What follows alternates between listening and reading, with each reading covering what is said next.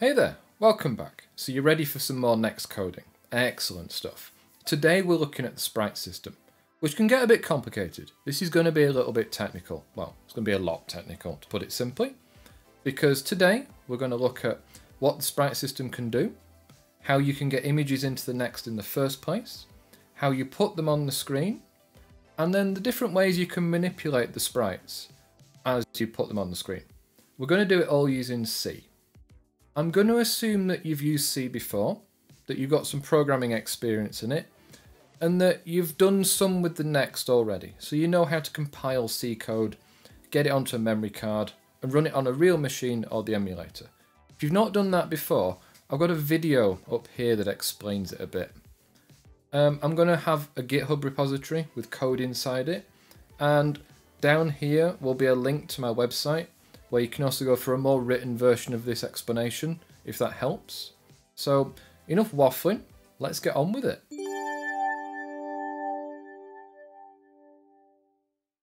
So the next has hardware sprites. This means it handles all the effort of drawing, erasing, and moving the sprites around the screen for us. We don't have to blit pixels by hand. This is pretty awesome. All we need to do is tell the next what to show and where to show it. And here's what the system is capable of. We can have 128 sprites, each sprite being 16 by 16 pixels. A display area that's 320 by 256, which is actually bigger than the layer 2 screen that we looked at in the other video. Sprites can be manipulated by rotating them, mirroring them, and scaling them. And you can create bigger sprites by putting smaller ones together.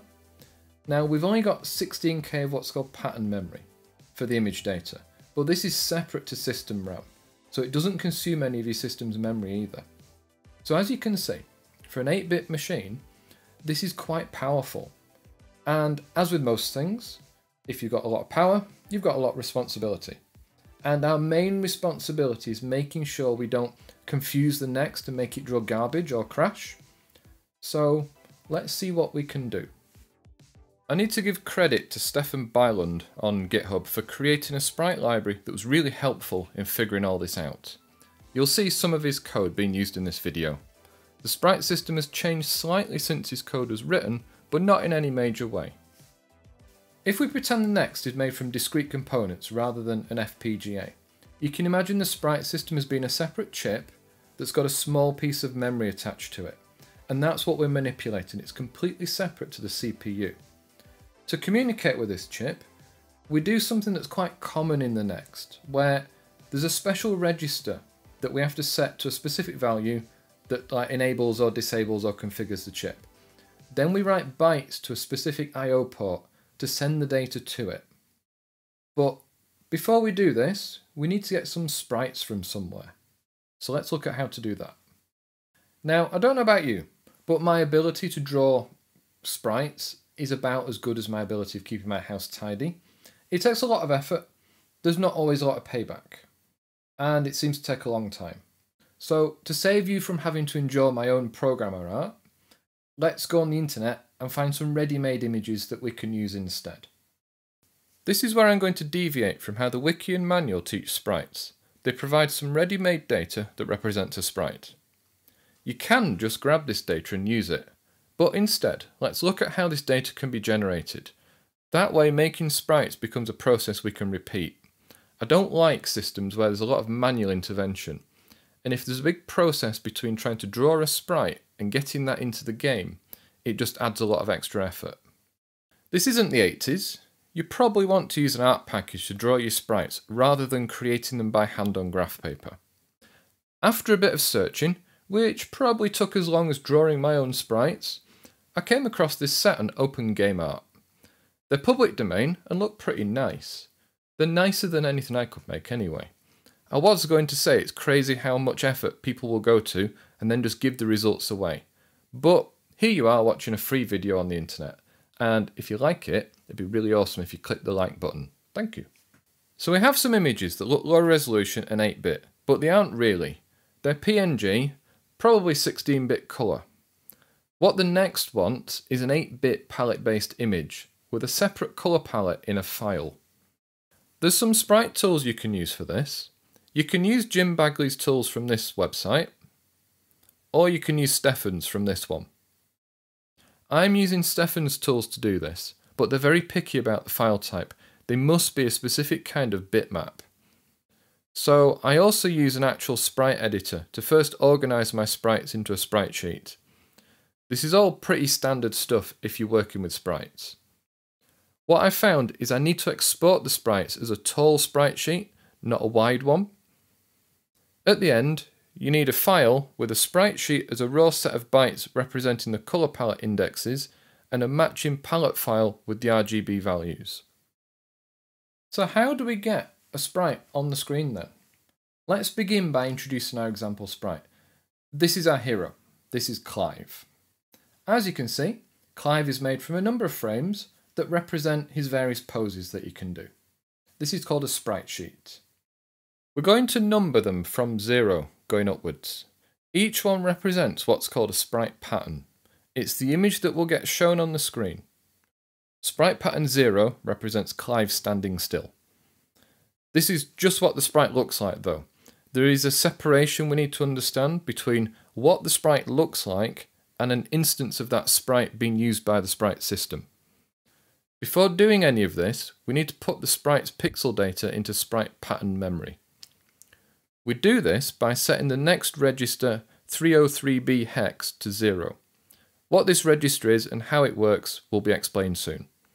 Then, we need to read in the bytes of image data from somewhere and write them to port 58b hex, the sprite pattern upload port. We need to do that one byte at a time. The sprite patterns are stored in a special area of the FPGA that CPU doesn't have direct access to, that's called the sprite pattern memory. Because this is 2021 and not the 1980s, our next is fitted with an SD card. So none of the sprite data is being embedded in the source. There's no massive block of C data here that we need to include. Instead, we'll use the ESX-DOS commands to read the data off the SD card and put it into the sprite pattern memory. This is just like in C. If you read a file from disk into memory, it works the same way. To get this on the screen, we need to choose one of the hardware sprites and set its attributes. Things like its X and Y position, which pattern to use, and so on. The attributes are what tell the next how to display our chosen sprite. Attributes are important, and I'll get to that in a minute. These don't have an official name. The wiki just calls them sprites. So I'm going to call them sprite attribute slots. They represent the 128 actual hardware sprites that we can use. You can think of this, if you've used other engines, as like the instances of sprites, rather than the image. Don't mix up sprite patterns, which is how the thing looks, from its attributes, which is the actual hardware sprite. I keep doing that and it gets confusing to me, so don't make the same mistake. Which attribute slot we use is up to us and is part of our game's logic. Like in the example, we're going to start with slot 0 because that's the first slot, so it kind of makes sense. But if we were making a more complex game, we'd have to choose which sprites we're using. So maybe if it was like Space Invaders, where the screen is fairly static, you might have the player sprite, three base things, and then maybe 20 sprites across the top for the Space Invaders. And that'd just be it. And everything's static and stays the same. But if you had a game where enemies moved across the screen and went away, and then other enemies came in, and you maybe had an end of level boss that was quite big, it'd be up to you to decide how you're allocating your sprites and which ones you reuse every so often. It's a bit like if you've ever seen Super Mario on the Super Nintendo, they only have a set number of sprites that they can use, and they keep recycling them as things come and go on the screen. You might need to do that same technique if what you're making is quite complex. So after loading our sprite data and telling the sprites to appear on top of the layer 2 screen, we need to choose attribute slot 0. We do this with the next register 303b, which in Z88DK has a macro called IO sprite slot. This has two functions. The first is to choose which of the 128 hardware sprites we're going to be setting attributes for. I've got a function that does this. All it does is builds up the correct bit pattern to be sent to the next register. The logical AND just makes sure we only ever set the bottom 7 bits.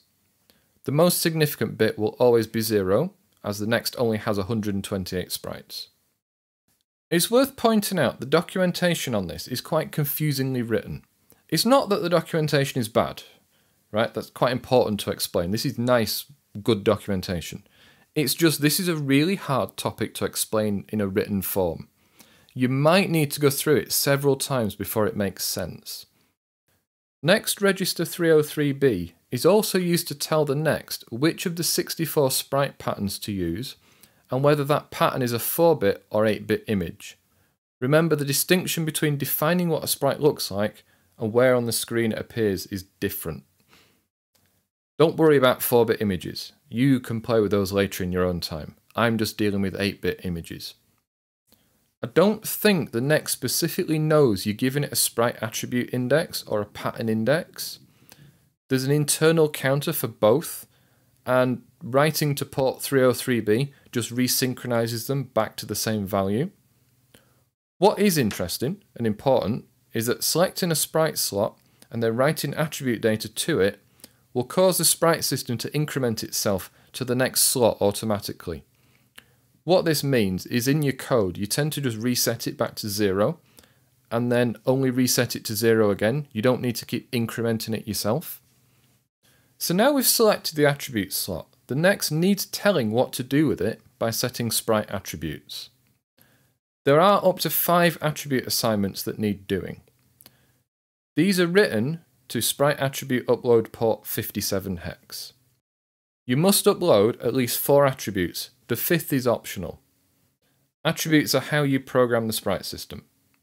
The five attributes are Attribute 0 is the sprite's x position's least significant bits. Attribute 1 is the sprite's y position least significant bits. Attribute 2 is a mixture of many things.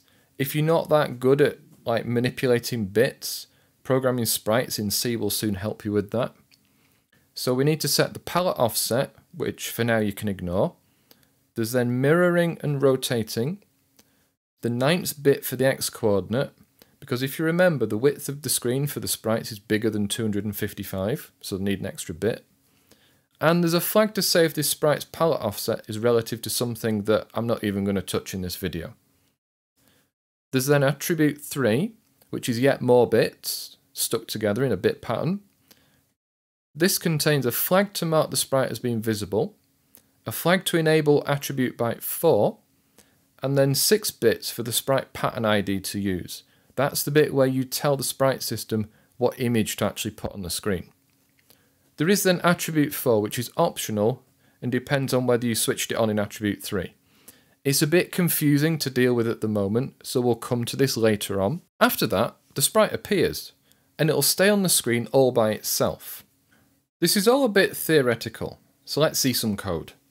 Again, I have a function that does this, Here's the code to set sprite attribute 0 to be sprite pattern 0, positioned at 0, 0 on the screen and to be visible. So lots of zeros. This is actually quite good.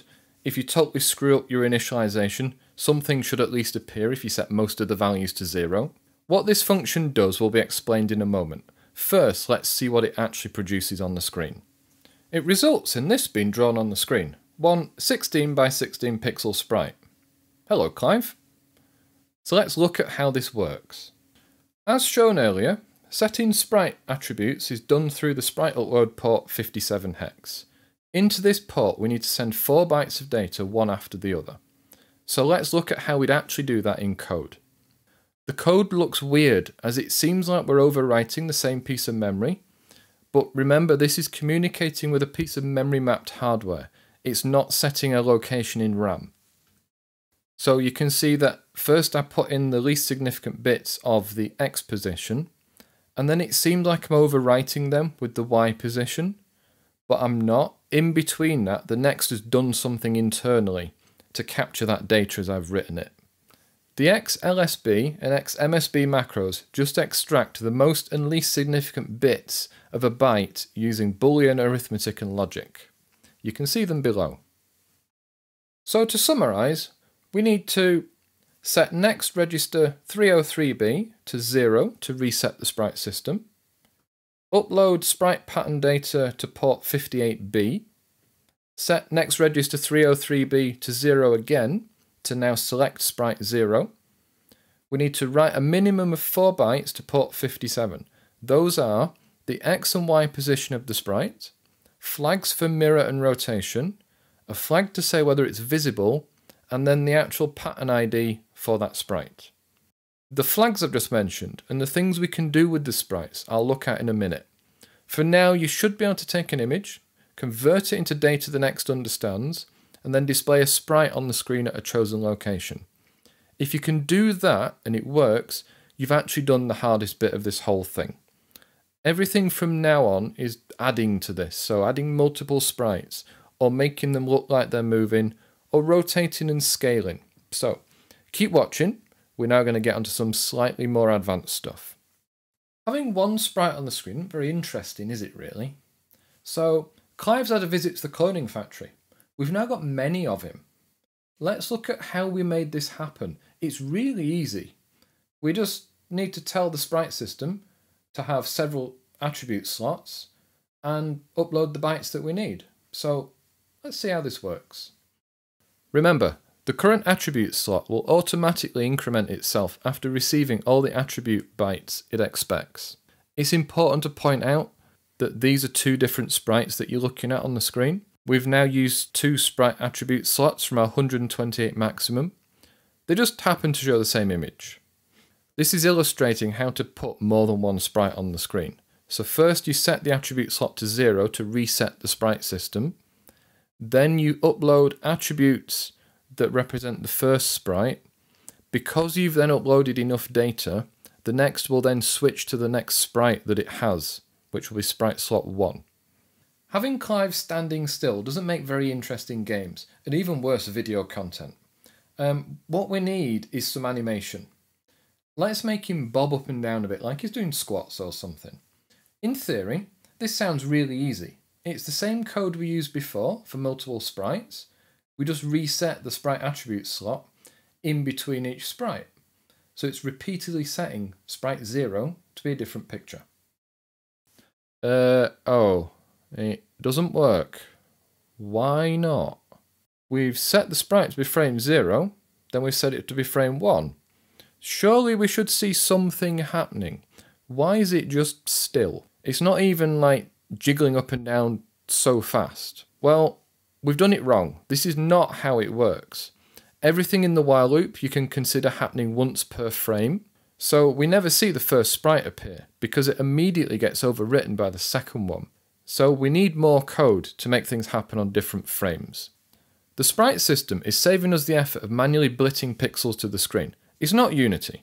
There's no state machine behind the scenes switching images for us at a set frame rate. All the sprite system is doing is saving the CPU from having to move pixels around by itself, which if you remember from my layer 2 video, that's quite a slow process.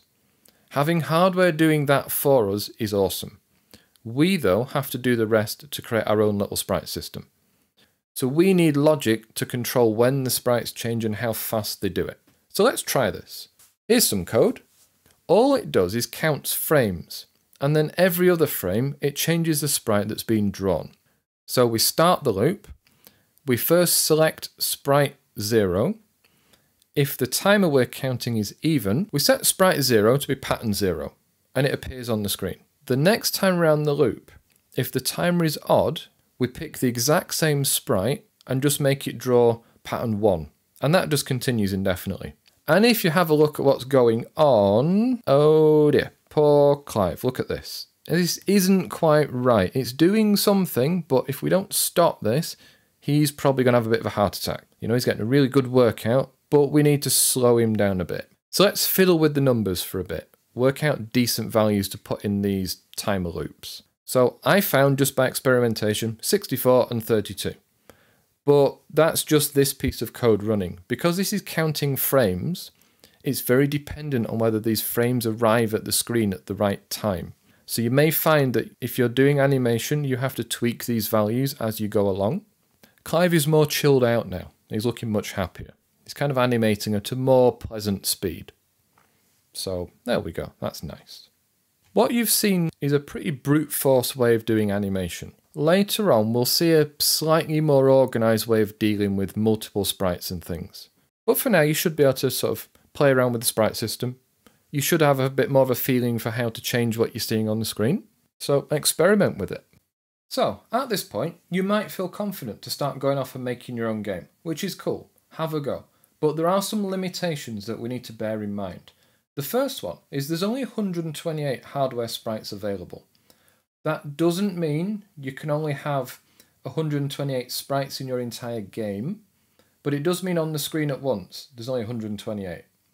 So if you're starting to have big things moving around, or you're starting to have lots of bullets and everything, you'll run out of sprites quite quickly. So you need to be thoughtful with how this works. The screen is only about 256 by 192 in size. And that's quite small if your sprites are 16 by 16. A lot of sprites will easily fill the screen. Um, a bigger thing is that you've only got 16k of pattern memory, which with 8-bit sprites can only hold 64 sprite patterns. So if you're thinking of like a giant enemy and then little ships and things, you'll run out of memory.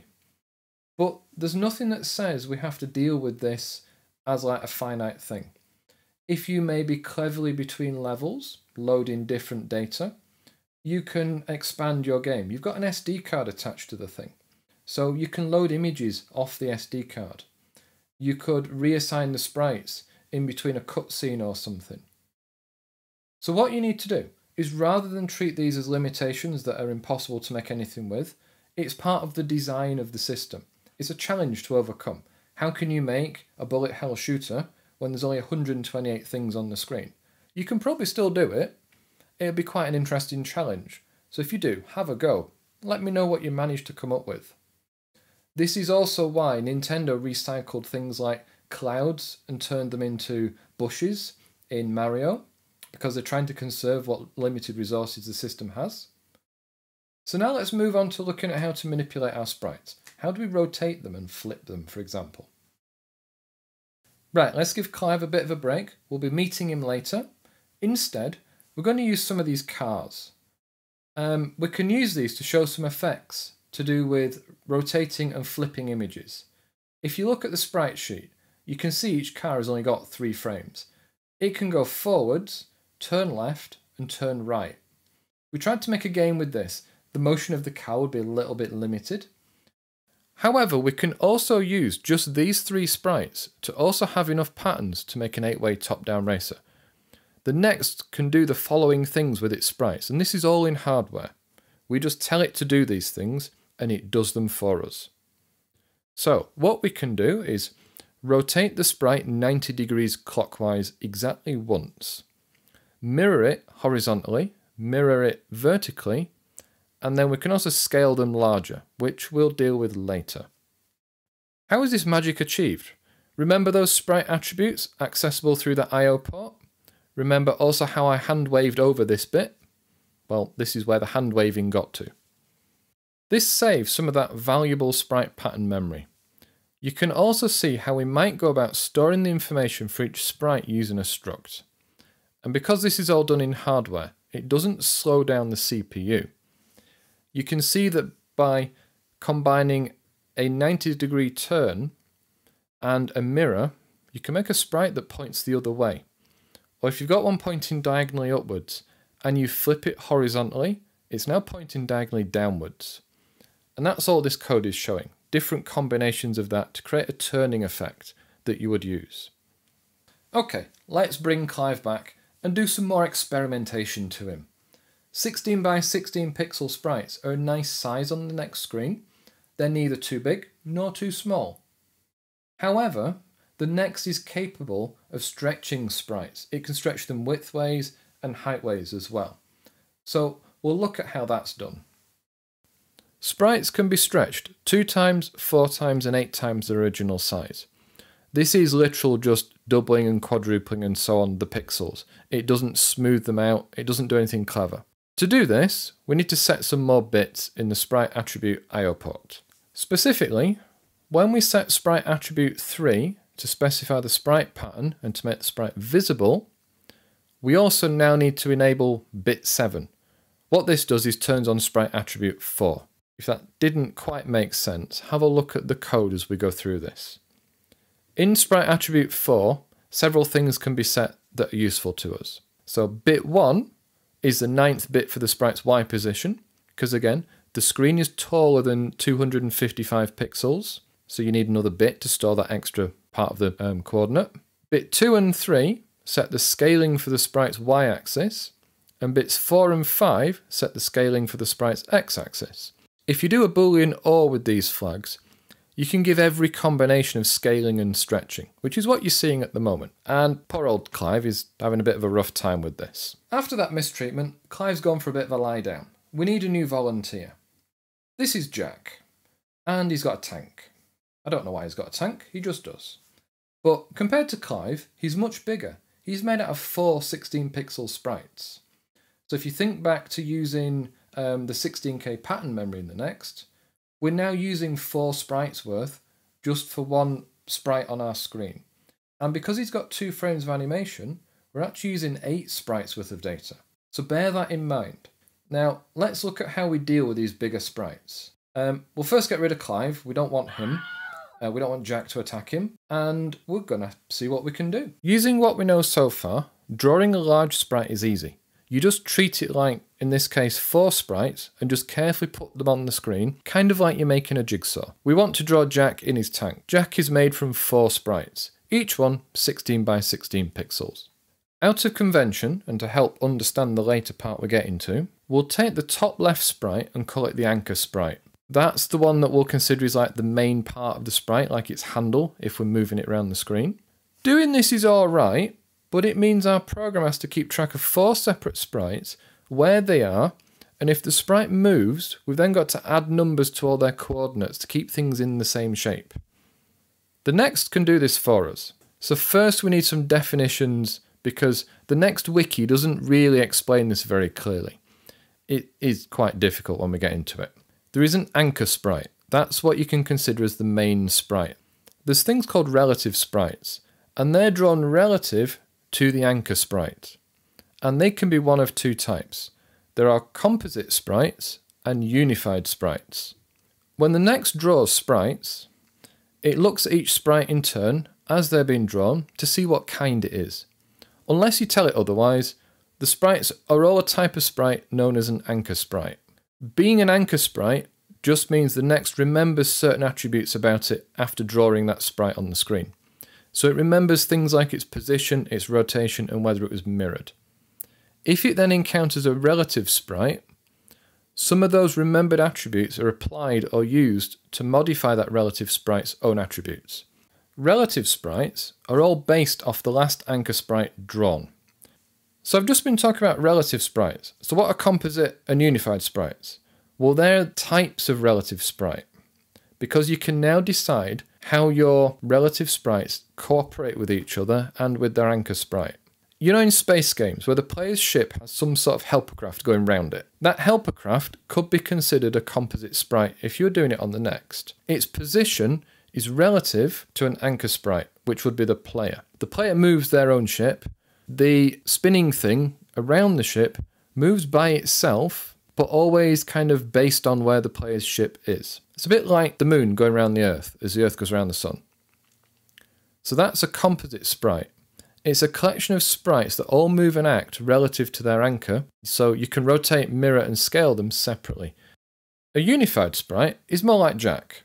Jack is too big to fit in a 16 by 16 pixel sprite, so we do the natural thing of gluing together more sprites to represent him.